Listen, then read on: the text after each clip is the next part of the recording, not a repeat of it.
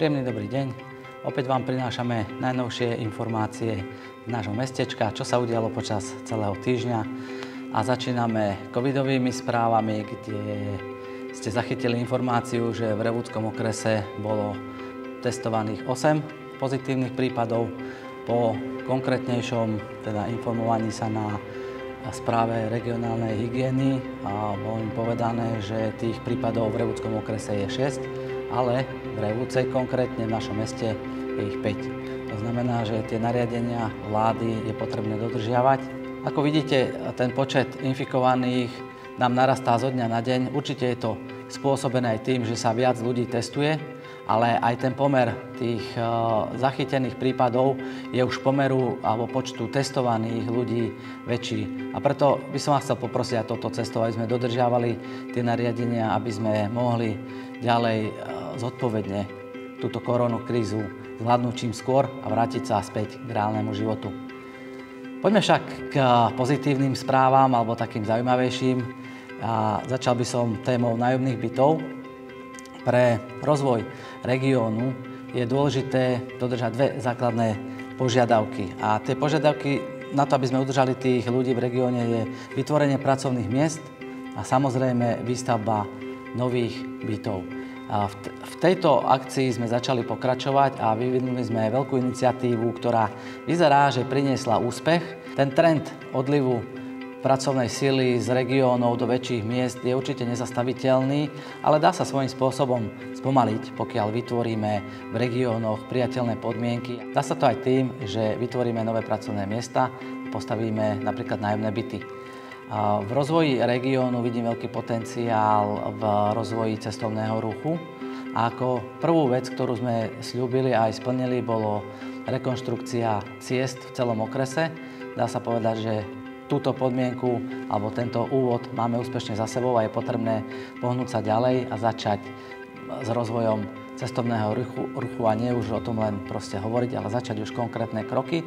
Založením oblastnej organizácie cestovného ruchu sme si myslím už začali aj s týmto rozvojom a je potrebné v tom pokračovať. A my robíme všetko preto, aby sme značku GMR reprezentovali na Slovensku a nielen na Slovensku čo najlepšie ale vrátim sa k nájomným bytom. V súčasnej situácii nie je lepšia možnosť, ako získať finančné prostriedky na výstavbu bytov ako cez štátny fond pre rozvoj bývania, ktorý nám v súčasnosti poskytuje až 1350 eur na meter štvorcový a pri tej dotácii z ministerstva dopravy, ktorá je vo výške 40% nenavratného pôžičky, dokážeme nastaviť cenu bytov a teda aj nájom, vrátanie energií na veľmi nízku cenu, ktorá v našom regióne bude určite priateľná. V podstate je to založené na tom, kto aký životný štýl uprednostňuje. Niekto uprednostňuje životný štýl anonymitu veľkomesta, samozrejme to veľké mesto mu poskytuje aj väčšie množstvo pracovných príležitostí, kultúrnych, spoločenského vyžitia. Takou nevýhodou môže byť aj bytová otázka.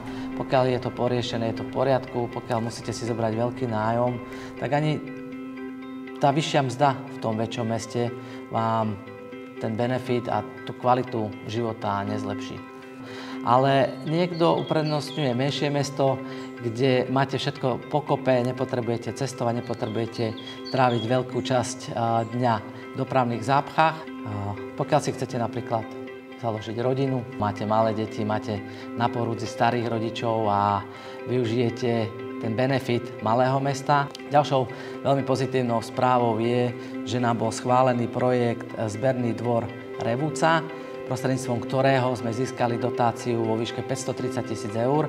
Tieto finančné prostriedky budú použité na nákup, e, nákup strojov, ktoré chceme použiť pri realizácii projektu a založení technických služieb mesta Revúca. Technické služby mesta Revúca by mali za úlohu realizovať práce ako letná údržba, zemná údržba, opravy ciest, na to všetko potrebujete stroje a zariadenia a my si ich teraz a, už vieme prostredníctvom tejto dotácie zabezpečiť. Bude to samozrejme sociálny podnik, a, ktorý prináša ďalšie výhody a bude pomáhať aj bytovému hospodárstvu pri fungovaní a pri zlepšení tej konkurencieschopnosti na trhu a teda aj pri vyššej efektivite výkonu práce. V závere dnešných revudských zvestí krátka informácia o stave povodní. V Revudskom okrese bol vyhlásený tretí stupeň povodňovej aktivity a v meste Revúca túto situáciu preto veľmi pozorne sledujeme. V prípade, že sa zvýši nejaká hladina rieky, či už je to zdychavka alebo múraň, určite zasadne krízový štáb a príjme potrebné opatrenia. Vieme, že povodne aj v minulosti nám spôsobili nemalé straty a škody, takže budeme sa snažiť všetkými možnými prostriedkami tomu zabrániť. Ďakujem pekne za pozornosť a prajem pekný deň.